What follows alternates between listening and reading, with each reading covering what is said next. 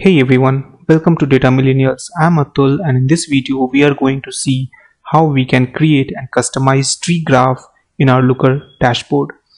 So we will be creating this tree graph which you can see on your screen from scratch in this video.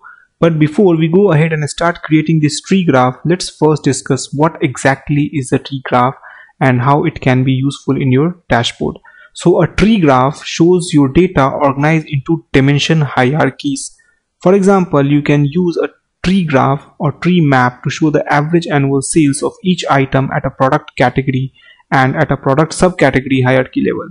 Now, if you see this example, I have a category saying that we have a company which generates 2,386,000 revenue for year 2022. Let me take you to raw data. So we have year, month, department, team and revenue.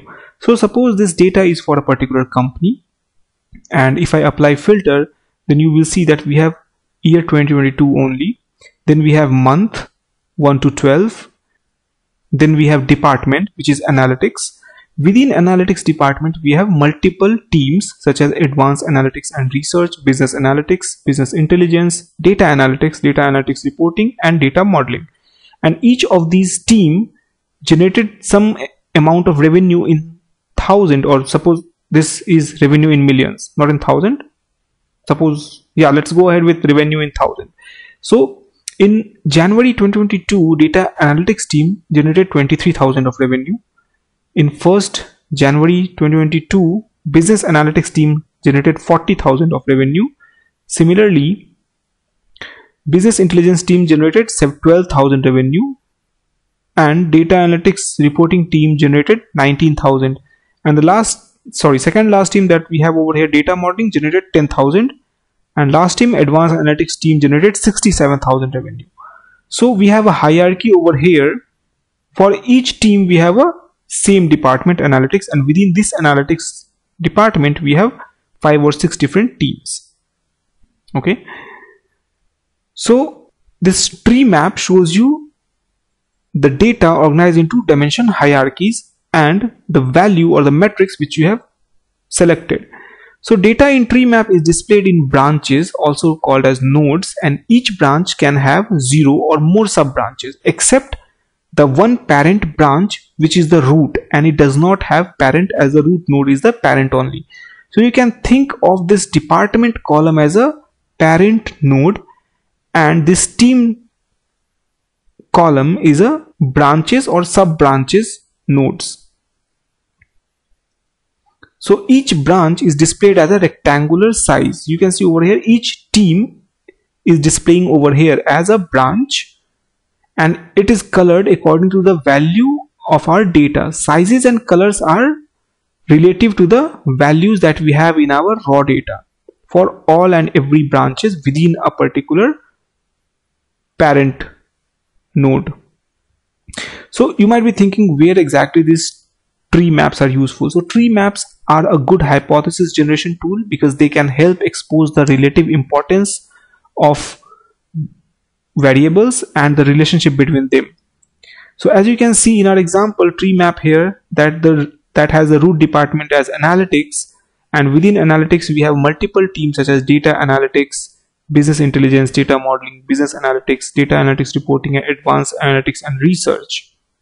And now if we review the data, then here's how the underlying data for this chart is organized. It is in a tabular format. With this tabular format data, you won't be able to identify which team is doing great or what is the proportion of revenue generation of each team within this analytics department.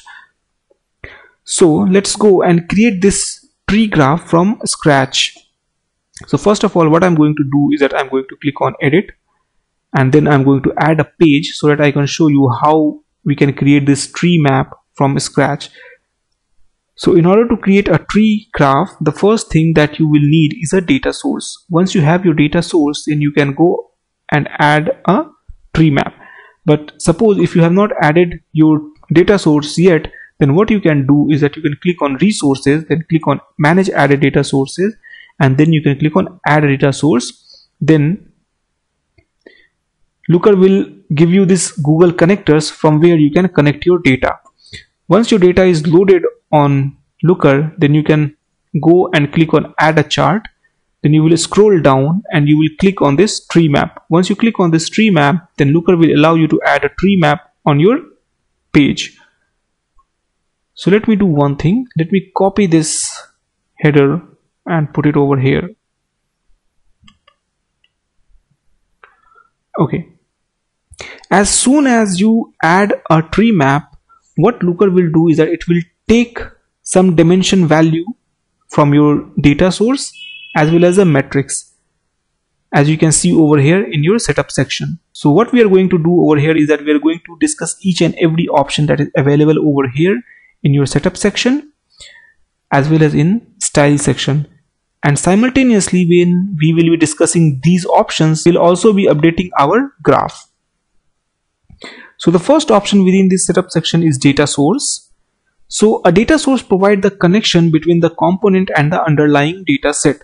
So your component is this tree graph and your underlying data set is this data set which you are using for your tree graph. Now this source data source option helps you to select another data sources that you have already added or available data source. If you want to change your data source you can select any of your added data source from here or any available data source from here. And suppose if you want to add a new data source on which you want to create this tree graph then you can click on add data. And again looker will take you to this connect to data section where you can use any of google connectors to upload your data or add your data source and as soon as your data will be uploaded or added in the background then the underlying dataset for this tree graph will be changed and you will have your underlying dataset as a new dataset which you have added. The next option that we have is date range dimension. So this option appears if your data source has a valid date range. As you can see over here in my dataset I doesn't have a valid date range column. So this date range dimension will always be blank. We cannot add any column over here.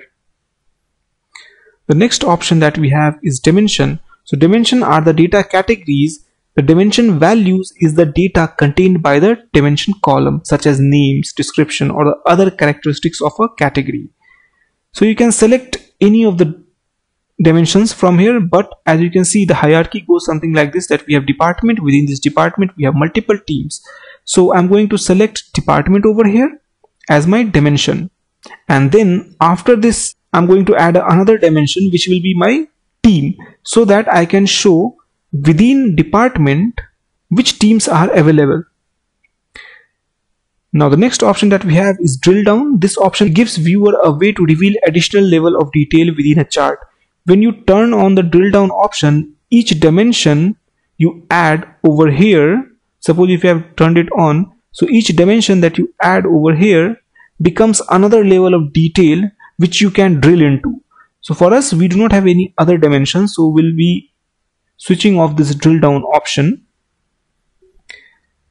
Now the next option that we have over here is metric. So this metric measures the things contained in dimension and provide the numerical scale and data series for the chart. So this is the metric based on which your nodes will be distributed in your tree graph. So for us our metric will be this revenue. And now as you can see once I have selected this sum of revenue over here that the advanced analytics and research team has a higher area over here because it has high value for its metrics which is 896 as compared to the other teams. That's why it has taken a large area in this tree graph now within this matrix, you will see that you have an option for optional metrics. So with this optional matrix, we can define a list of additional metrics that can be displayed by the table. So let me switch it off or turn this matrix optional matrix off right now and let's go to this view.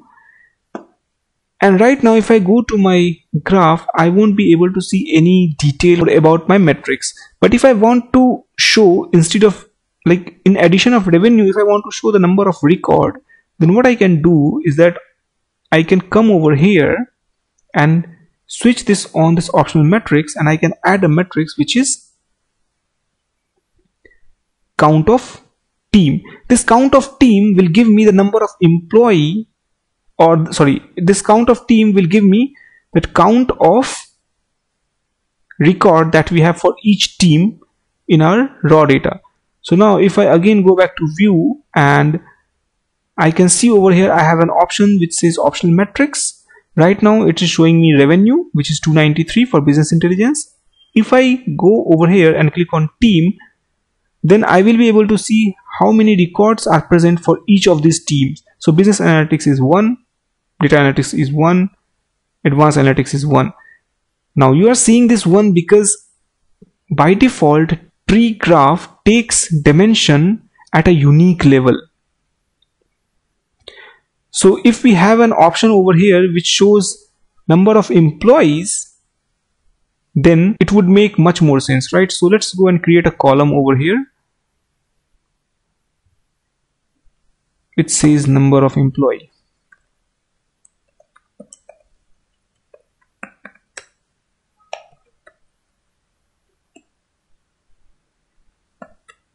so I'm just using random number function over here which generates a random number between 5 and 10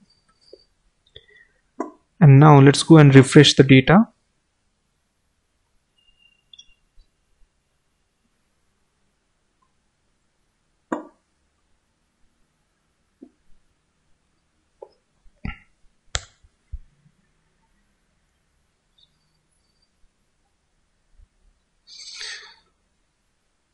so instead of this count of team what I can take is the number of employee and that would be the sum of employee right? Now if I go to view and select this number of employee then we will see that how many employees that we have. For data analytics reporting team we have 93 employees. Similarly for advanced analytics team we have 93 employees for business analytics team, we have 96 employees. For data analytics, we have 98 employees. Business intelligence, we have 96 employees. And for data modeling, we have 91 employees. So that's how this optional matrix helps us to define a list of additional matrices that we can display. Now the next option within setup is total rows. So tree map can display from 5 to 5000 rows of data and by default looker will select 500 over here. So it will show only 500 rows of data. If you want you can select it up to 5000 but you have to make sure that if your data has more than 5000 of rows your performance may degrade. And in order to enhance your performance what you can do is that you can apply certain filters on your tree map to make your tree map or your report more optimized. Then the next option that we have over here is filter. So this filter restrict the data that is displayed in the component which is our tree map by including or excluding values from your raw data. So for example, if you want to add a particular filter and within this filtration you want to exclude certain values from your tree map, right? So what you can do is that you can click on add a filter then you have to click on create a filter once you click on it then you have to go and click over here and write the name of the filter. Once you wrote the name of the filter then you have to select this option either include or exclude. Then you have to select a field from which you want to exclude. Then you have to set a condition over here. And then you have to give the value. And then you can click on save to apply your filter on this tree map. So for us we are not going to apply any filter because we want to show all data over here. And let's select revenue. Okay now that the filtration was the last option within setup now the next option over here is a style. Before we go and discuss about style let's click on view and see our tree map. So now as you can see that we have higher contrast for this advanced analytics and research because it has the highest number. We can make this tree map more visually appealing using the style property from edit mode so this style properties helps you to control the overall presentation and appearance of the chart. So the first option within this style is tree map and within this tree map the first option that we have is max color value. It sets the color of the highest metric value. So for us as you can see here the highest value is blue let's select it to green deep green okay.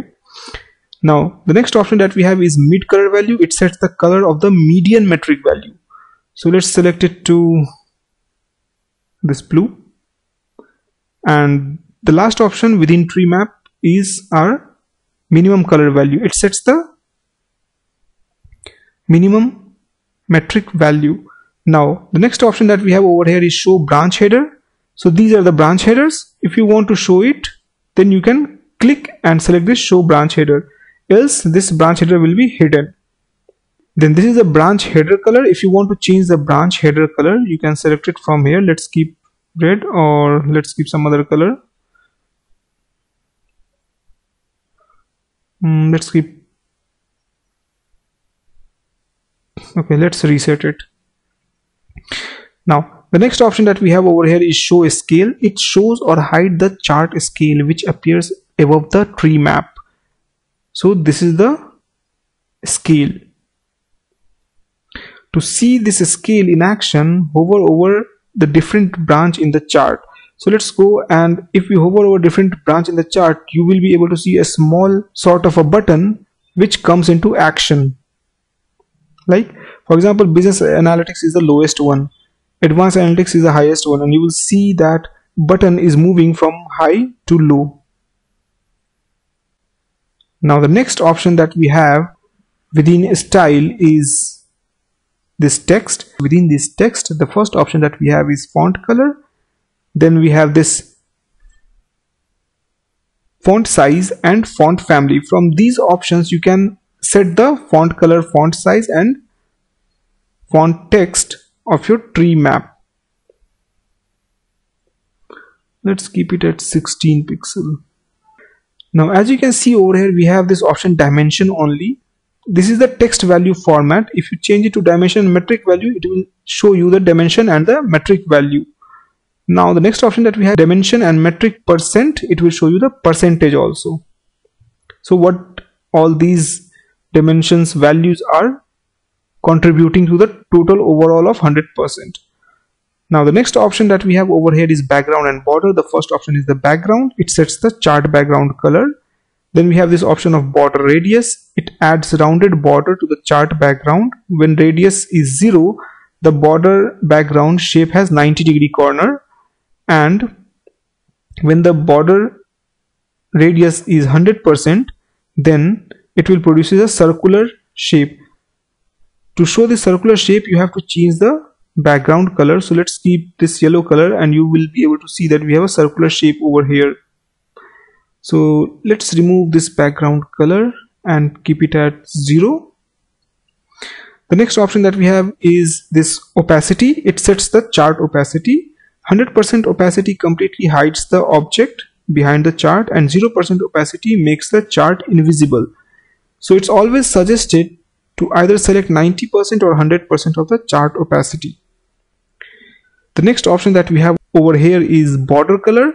It sets the chart border color. So let's select black border color. The then we have this option border weight. It sets the chart border line thickness. So let's select 3 and the last option you can say for border sorry background and border is this border style it sets the chart border line style we have four different options solid dashed dotted and double. So let's keep double.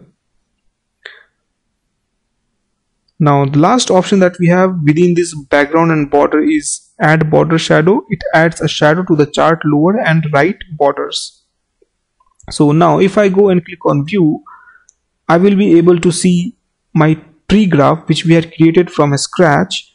And if I want to see my optional matrices. For example number of team members for each team. I can go and click over here and select number of employee and my tree graph will show the number of employee proportion over here as we have selected proportions. So this is how basically you can create and customize tree graph in Looker or Google Data Studio. Happy learning and see you in the next video.